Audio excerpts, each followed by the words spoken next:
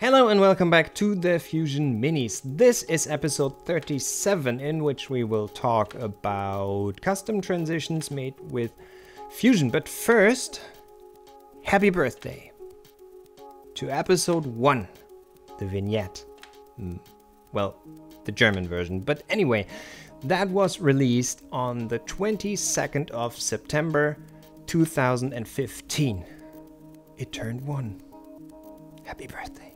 Okay, here we are back in Fusion, but before I start, please let me explain why I am even recording this clip.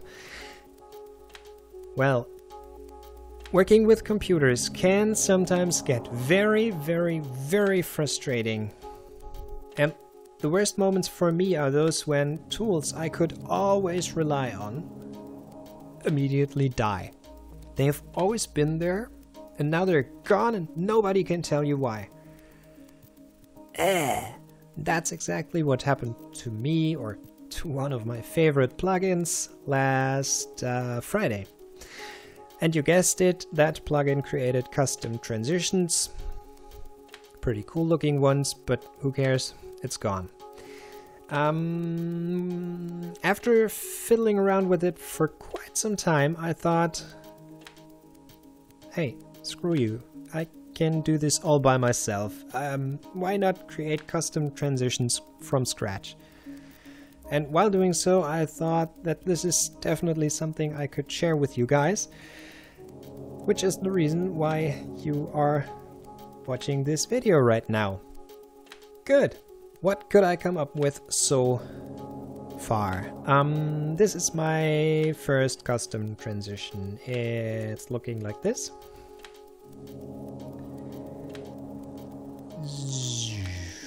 This is not real time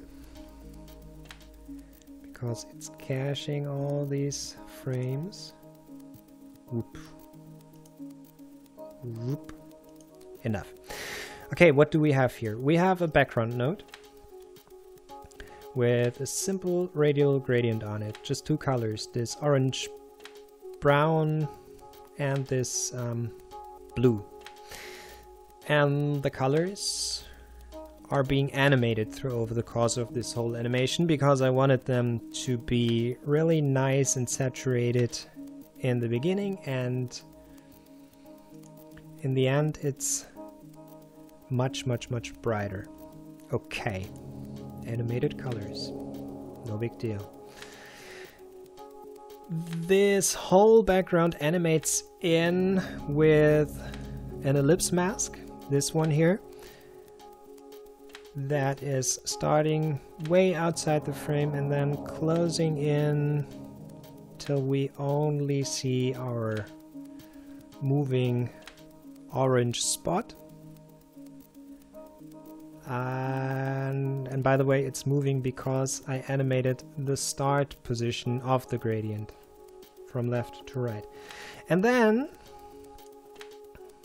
oops, once we reach the end, the mask is doing the exact opposite until we are completely transparent again. So we go from the very first frame transparent to the very last frame transparent and in the middle we have this color uh, thing whatever going on. Um, we also have a blur node which mm, not sure if you can see it after YouTube killed the effect with its compression, but um, it's basically softening this whole spot just a little bit more. It's a really subtle effect, but I like it. Um, saver node, pretty self-explanatory. I would like to export everything as PNG files later on.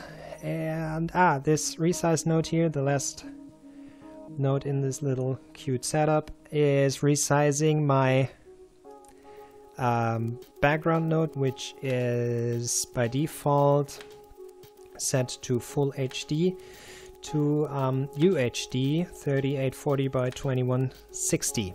Um, and later on I will export both versions, the full HD and the UHD version, just in case. Um, um, um, um, what else? everything here is fully customizable as long as you have the composition on your computer. And as long as no software, no, let's do not talk about dying plugins. Um, fully customizable. I can, of course, change the colors here. I can make it faster. I will have to, I think.